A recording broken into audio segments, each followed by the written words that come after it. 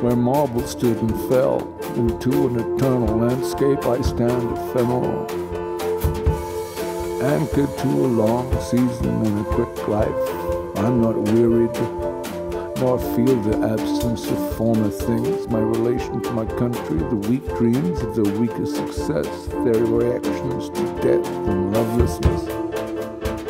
The reactions to death and lovelessness. Oh, oh, and I know now, having had enough of her, how women suffer.